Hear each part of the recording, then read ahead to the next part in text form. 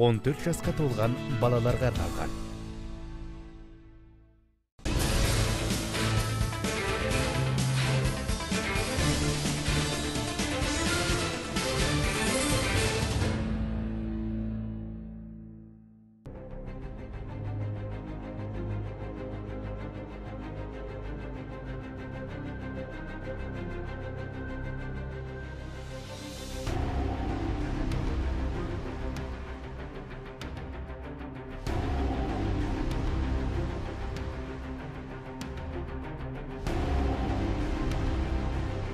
Ассалаумағалейкум. Бұл жолы патруль қылмыстық атқару жүйесі комитетінің қауіпсіз деңгейіндегі мекемесінде. Бұл мекемеде 180-нен астам адам жазасын өтеуде. Қатаң режимдегі түрмеден ауысқан азаматтар бұл жерге өзін жолым болды деп есептейді. Ол үшін ең алдымен бұрынғы мекемесінен ә, жақсы мінездеме мен өзінің ең бастысы түзелем деген ниеті болу керек. Олай болса біз алғашқы жазасын өтеп жатқан азаматпен қазір танысатын боламыз. Эльмира Нығметова алаяқтық жасаған үшін үш жарым жылға бас бостандығынан айырылған. Жазасын өтеу мерзімі бір айдан соң аяқталады. Ұйымдастырылған шараның арқасында жақынымен кездесіп, сағынышын басқанын айтады. Я бы хотела поблагодарить руководство нашего учреждения. Ең алдымен мекеме басшылығына осындай мүмкіндік сыйлағандары үшін алғыс айтқым келеді. Бұл жерге 8 ай бұрын ауысқан болатынмын. Барлық жағдай жасалған деп толыққанды айта аламын. Қызметкерлер де түсіністікпен қарайды. Осындай іс-шаралардың арқасында жақындарымыз бен жүздесіп қуанып қаламыз. Бүгін кездесуге құрбым келіп отыр. Было очень хорошее отношение. Түзеу мекемесінің басты міндеті осында жазасын өтеп шығатын әр адамның алдағы өміріне дұрыс бағыт бағдар беру. Қайтып қылмыс жасап теріс жолға түсуін болдырмау. Түзеу мекемелерінде жаза басып жазалы болғандардың алдағы өмірі дұрыс жалғасу үшін атқарылатын жұмыстар ұшан теңіз алайда тәлімі берік тәрбиенің орнын еш нәрсе алмастыра алмайды. Сотталғандарға барлық жағдай жасалған ә, жататын орындары бар ә, телевизор бар ә, ас үйі бар өзінің төрт бөлме бар. Оның біреуі балалар бөлмесі болады. Сотталғандарға барлық жағдай жасалған. Бүгінгі күнде барлығы жақсы. Сотталғандарға екі күндей уақыт беріледі. Туған туысқандары кіре алады. Екі күнге дейін сол осы жерде уақыт өткізеді. Туған туысқандарымен жақындарымен сондай уақыт өткізеді осы жерде. Сотталғандар жасаған ісіне өкінетінін жасырмайды. Жазасын өлшеулі өмірмен өтеген олар отбасымен қауышар күнді үміт үзбей күтумен жүр. Также я очень хочу сказать что здесь әрине өткен іске сыншы көп. алайда түзету мекемесінде жазамды өтеп жатқаннан кейін жасаған істерімді топшылауға уақыт жетерліктей болды. Қате жасамайтын пенде болмайды ғой. Сондықтан өз ісіме өкінемін. Алда енді жаңа өмір басталады. Барлығын басынан бастап қоршаған орта мен жақындарыма пайдамды тигізбекпін. Олармен бостандықта кездесуді асыға күтіп жүрмін. Адамдардың тұтқындар мен түрме қызметкерлерінің мүддесі ескерілгенін қалаймыз. Яғни түрме қызметкерлері тұтқындарды қылмыскер көрмей жаза өтеу жүйесінің тең құқылы қатысушылары ретінде көруі керек. Ол үшін қызметкерлердің санасын өзгерту керек. Әрбір түрме қызметкері абақтыға түсетін адамдар туралы түсінігін оларға қарым қатынасын өзгерту қажет. Бұл кішкентай қадамдардан басталады. Дәл осындай қатынас тамақ ішуден бастап киім үлгісі кездесу ұзақтығы мен тәртіпке шақыру амалдарына дейін түрме өмірдің барлық кезеңінде сақталғаны жөн дейді мекеме басшысы.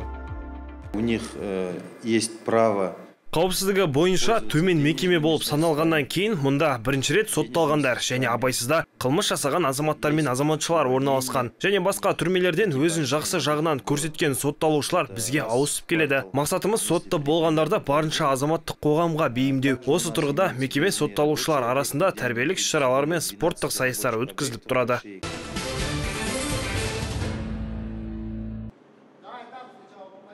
Қазақстандағы түрмедегілердің 80 пайызы еңбекке қабілетті жасы 40-тан аспайтын азаматтар. Егер де оларды тұрақты жұмыспен қамтыса ішкі өнім өсіп ел экономикасы еселенер еді. Қостанайдағы нөмірі 40 мекемеде бұндай жағдайлар қарастырылған.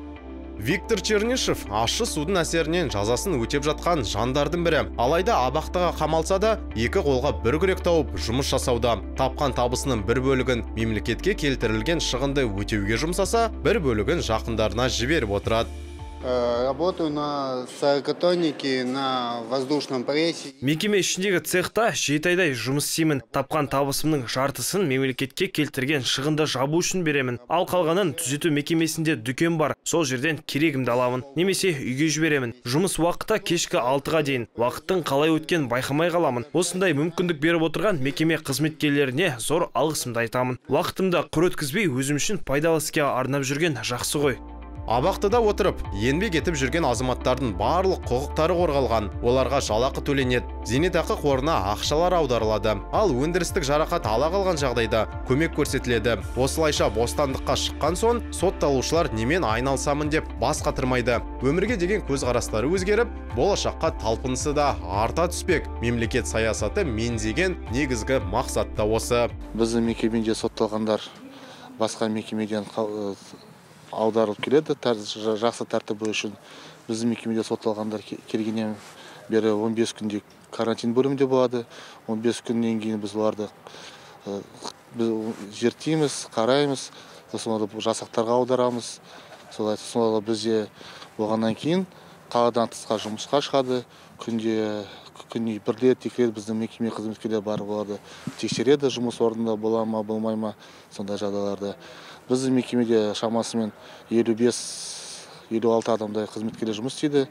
Бақылаушылар бізді сержанттар өзіміздің ведомство бұйрықтары бойынша қызмет айт қызметтерін атқарады.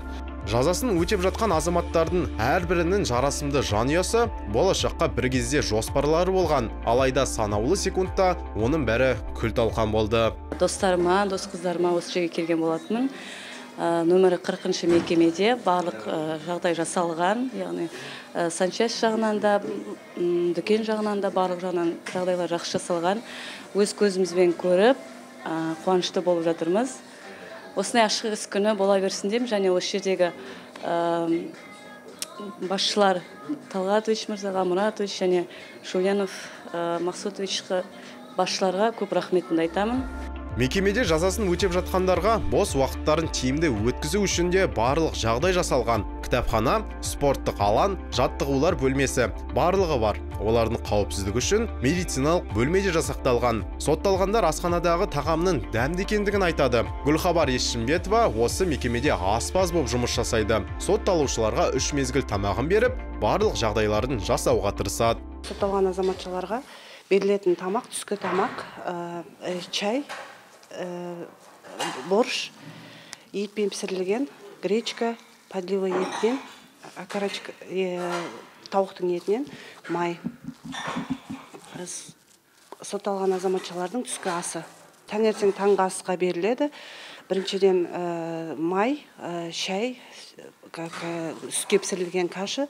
Екіншіден түскі астары осы сапалы және де жоғары жағдайда деңгейде деп айтсақ та болады. Себебі ә, сотталған азаматтар азамат азаматшалардың денсаулығына ешқандай зиян келтірілмейді. Тамақтың ә, сапасы жақсы деп жүз пайыз айтуға болады. Бұл мекемеде әрбір сотталушылардың бөлмелері бар. Ол жер керекті құралдардың барлығымен жабдықталған. Жайлы төсек орын теледидар киім ілетін жиһаздарына дейін қарастырылған. Адам басына шаққанда үш жарым шаршы метр жер қарастырылған. К вашему вниманию хотел бы показать вам наглядно комнату, где содержится осужденный женского пола. Өздеріңіз көріп отырғандай сотталушы әйел азаматшаның бөлмесі. Бір адамға орта есеппен үш жарым шаршы метр қарастырылған. Әрқайсысының жеке жатын орны мен киім ілетін жиһазы және әлемде не болып жатқандығынан хабардар болу үшін теледидар қарастырылған. Мысық асырауға да мүмкіндік бар. Ол сотталушылардың жағдайының жақсаруына септігін тигізбек. Жаза басқан жанды жазасыз қалдырма үрдісі бұрыннан бар. Бірақ абай хакім менің қолымда закон болса адамды түзетуге болмайды дегеннің тілін кесер едім деп айтқандай қатесін мойындап айыбын өтемейтін адам жоқ. Бұлар да сол жазасын өтеп жүр. Мүмкін олардың тура жолға түсіп түзу өмір сүруіне мүмкіндік берген жөн шығар. Қалай десек те түрмеден кейін де өмір жалғасады. Бір рет жаза басқан жан көптің қолдауына зәру. Екінші рет қателеспесін десек көмек береміз қолтығынан демейміз. Түрмедегі тіршілікті көргендегі ой осы дейді мекеме қызметкерлері.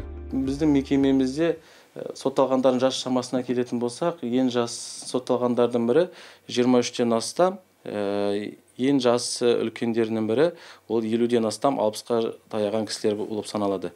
Э, осы сотталғандарға бүгінгі біздің мекемемізде сотпен бекітілген жәбірленуші тарапқа немесе мекеме ә, мемлекетке келтірілген зардаптарын өтеуге барлық жағдайлар жасалған. Ә, арнайы бөлімнің ә, қызмет атқару барысында ол сотталғандарды жұмысқа орналастырылып олардың ай сайынғы өздерінің төлемақыларын алуға барлық мүмкіндік жасалған. Және олардың келтірілген залалдардың бәрін өтеп және үйлеріне қайту мерзімінен бұрын оралуына барлық жағдайлар жасалуға деп айтуға болады Қазақстан Республикасының Конституциясына сай әрбір азаматтың құқықтары қорғалған. Емін еркін мекеме ішінде жүріп тұруына, бос уақытын тиімді өткізуге барлық мүмкіндіктер бар бұл мекемеде. Ең бастысы сотталушының ниеті түзу болып, болашағына сеніммен қарауы. Для учреждений подобного рода мұндай мекемелерде бір қуантарлығы барлық жағдай жасалған екен. Өз көзіммен көргеннен кейін әрине қуаныштымын деп айту орынсыз болар. Алайда сотталушыларға жағдайдың жасалғанын көріп іштей жылып қалдым. Жақынымның бос уақыты бекер өтпей кітап оқып немесе спорттық жаттығулармен айналысатыны жақсы ақ. Жазасын өтеп шыққаннан кейін қоғаммен бір толқында болуына барлық жағдай туғызылған. Мен үшін сенімділік туғызды. Тренажеры очень хорошие. Нөмірі қырығыншы бұрынғы қоныс колониясы қазір қауіпсіздігі төмен мекеме деп аталады. Мұнда 180-нен аса адам жазасын өтеп жатыр. Ең жасы 23-те болса, үлкені 60-тан асқандар. Олардың басым бөлігі батыс, шығыс және оңтүстік облыстарының азаматтары. Наше учреждение минимальной безопасности біздің мекеме қауіпсіздігі ең төмен деңгейде. Бұл жерге сотталушылар қатаң режимдегі түрмеден тәртібі жақсы болғаннан кейін ауысып келеді. Яғни бостандыққа шығудан бір табан жақын қалғандар көбіне бізге батыс шығыс және оңтүстік өңірлерден ауысып келеді. Көбіне бізге батыс шығыс және оңтүстік өңірлерден жазасын өтеушілер ауысып келеді. Олар үшін барлық жағдай жасалған жұмыспен қамтылған. Учреждение предназначено для осужденных, которые находились ранее в закрытых учреждениях. Отряд бастығы колония басшысы мен сотталғандар арасындағы алтын көпір іспетті. Өйткені тұтқындарды толғандырған мәселе солар арқылы шешіледі. Сондықтан мақсатымыз сүрініп кеткен тағдырдың тағы да бүлінуіне жол бермеу дейді инспекторлар. Бұл жерге тап болу үшін бір ақ рет аяғынды шалыс бассан жеткілікті. Бірақ бұны сотталушы азаматтар кеш түсініп жатады. Алайда сот үкімі өмірден үзу деген сөз емес. Темір тордың ар жағында да олардың жақындары өздерінің болашақтарына сенімді екендерін айтады. Бүгінге осы амандықта жүздескенше.